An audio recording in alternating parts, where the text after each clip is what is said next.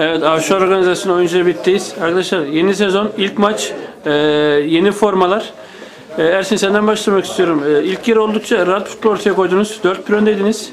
E, ikinci yarı senin çıkmanla beraber e, takım birdenbire değişti. Maç 4-4'e geldi.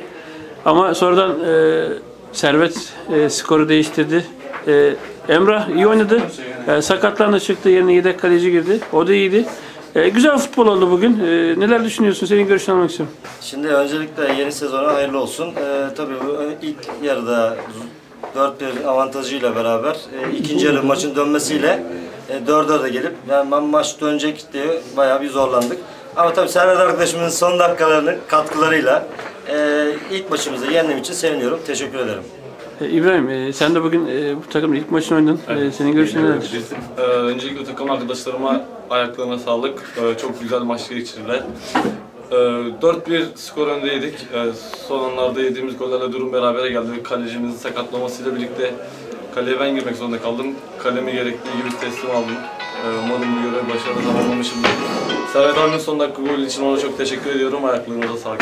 Arisa tebrik ediyoruz Ben biz de. teşekkür ederim. Sağ olun.